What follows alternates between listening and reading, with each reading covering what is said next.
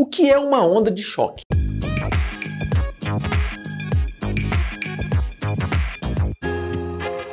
Fala, amantes da engenharia! Você já ouviu falar o termo onda de choque, seja em alguma reportagem ou algum filme? Mas sabe exatamente o que é uma onda de choque? Uma onda de choque é um fenômeno que ocorre quando um objeto se move através de um meio, como a água ou o ar, a uma velocidade superior à velocidade do som nesse meio. Esse fenômeno é caracterizado por uma súbita e dramática mudança de pressão, temperatura e densidade, resultando em uma onda de alta energia que se propaga pelo meio. Quando o objeto, como um avião, viaja a uma velocidade supersônica, ou seja, acima da velocidade do som, ele empurra as moléculas de ar à sua frente, comprimindo elas em um espaço muito pequeno. Como o ar não pode se mover rapidamente o suficiente para escapar da frente do objeto, ele se acumula criando uma alta frente de pressão. Essa frente de alta pressão é o que chamamos de onda de choque. As ondas de choque são bastante diferentes das ondas sonoras normais. Enquanto uma onda sonora se propaga de maneira contínua e suave através do meio, uma onda de choque é uma transição abrupta que gera uma compressão extrema e uma subsequente expansão rápida do meio. Isso resulta em um som muito forte e distinto, conhecido como estrondo sônico, que pode ser ouvido quando a onda de choque passa por um observador.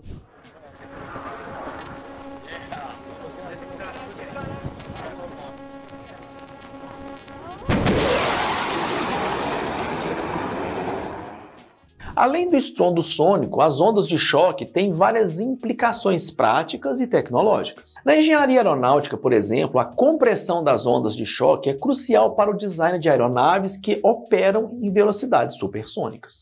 O formato da aeronave deve ser projetado para minimizar a resistência e gerenciar a formação de ondas de choque, garantindo uma operação eficiente e segura. Na física e na engenharia, as ondas de choque também são estudadas em outros contextos, como em explosões e na propagação de choques em fluidos. Em explosões, a detonação de explosivos gera ondas de choque que se movem pelo ar, causando danos significativos a estruturas ao seu redor. Em fluidos, as ondas de choque podem ocorrer em eventos como erupções vulcânicas, submarinas ou em reações químicas rápidas. Para estudar e compreender melhor as ondas de choque, engenheiros e cientistas utilizam uma combinação de experimentos, simulações de computador e teorias matemáticas. Essas ferramentas permitem a análise detalhada do comportamento das ondas de choque, e ajudam a desenvolver tecnologias para mitigar seus efeitos indesejados. Mas eu já vi vídeos mostrando janelas sendo quebradas por ondas de choque.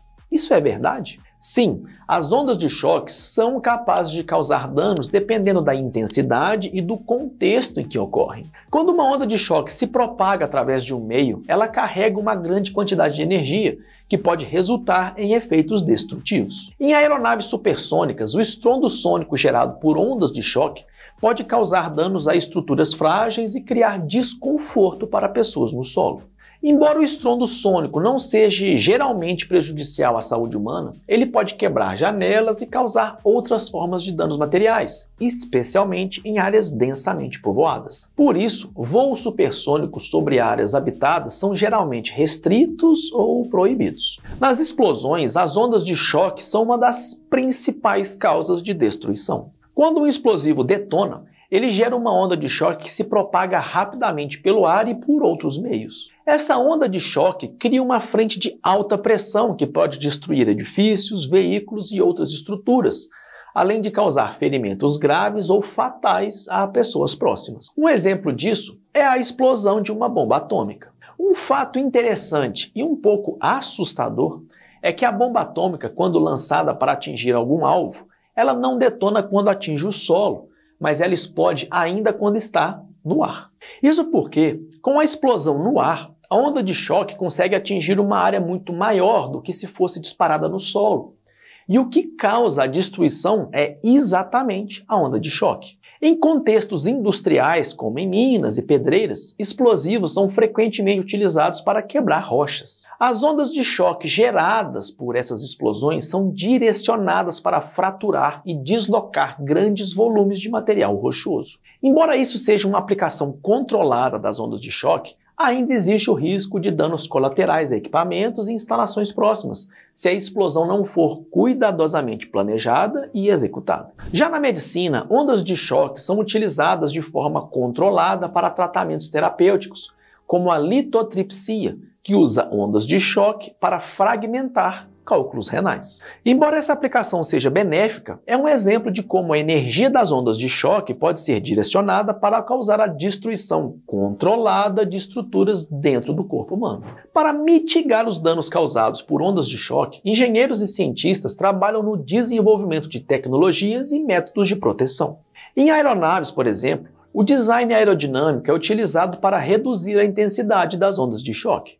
Em ambientes industriais e militares, o uso de materiais absorventes e barreiras pode ajudar a proteger contra os efeitos destrutivos das ondas de choque. E é possível enxergar uma onda de choque? Eu já vi uns vídeos com aviões supersônicos que formam como se fosse um escudo na frente. Isso é verdade? Visualizar uma onda de choque diretamente é um desafio, pois ela é uma mudança de pressão, densidade e temperatura no meio que geralmente não são visíveis a olho nu. No entanto, existem métodos e condições em que as ondas de choques podem ser observadas indiretamente. A primeira forma é uma fotografia Schlieren e Shadowgraph. Esses métodos são técnicas fotográficas que permitem visualizar mudanças na densidade de um fluido, como o ar, o que pode revelar a presença de ondas de choque. A fotografia Schlieren utiliza variações no índice de refração do ar para criar imagens que mostram as ondas de choque como linhas ou manchas. Já a técnica Shadowgraph projeta sombras das variações de densidade, permitindo a visualização de padrões de onda de choque. Temos também a condensação de vapor. Em algumas condições atmosféricas, como alta umidade, as ondas de choque criadas por aeronaves supersônicas podem causar a condensação do vapor de água no ar. Isso pode resultar em formações visíveis de vapor ao redor da aeronave, frequentemente observadas como um cone de vapor ou um boom visível. Elas também podem ser vistas por imagens de fumaça. Em experimentos de túnel de vento, engenheiros frequentemente utilizam fumaça ou névoa para visualizar o fluxo de ar ao redor de modelos de aeronaves. As ondas de choque podem ser vistas como mudanças abruptas no padrão de fluxo de fumaça. Também dá para ver na fluorescência de gases. Em alguns casos, gases fluorescentes podem ser utilizados em experimentos para visualizar ondas de choque. Quando esses gases são excitados por mudança na pressão e temperatura causadas por uma onda de choque,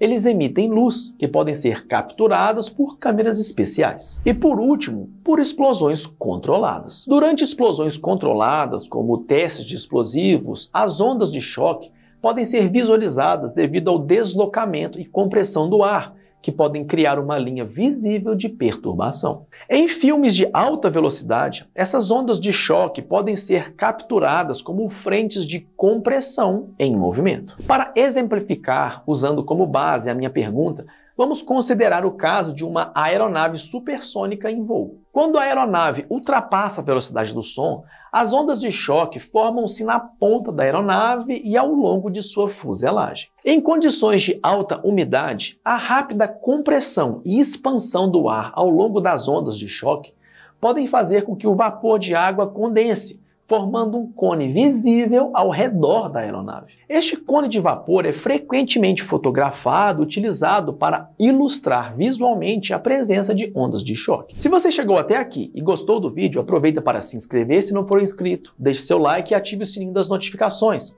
E se achar nosso conteúdo interessante, considere se tornar membro para nos ajudar a continuar produzindo conteúdo aqui na plataforma e ser lembrado em nossos vídeos. E se você está em busca de crescimento profissional, eu vou deixar um link aqui embaixo onde você vai encontrar várias oportunidades de se desenvolver em várias habilidades que vão fazer um diferencial tanto na sua vida pessoal como profissional. E aí? Já viu uma onda de choque? Já viu esses exemplos de cone que são formados na frente de aviões supersônicos? Deixa aqui nos comentários que eu quero saber. Aqui do lado tem duas opções de vídeos interessantes que você precisa assistir para expandir seu conhecimento e explorar sua curiosidade. E se você quiser contribuir com a gente, deixe seu like, se inscreva no canal e ative o sininho. E considere se tornar membro do canal. É isso aí, amantes da engenharia. Um grande abraço e te vejo no próximo vídeo.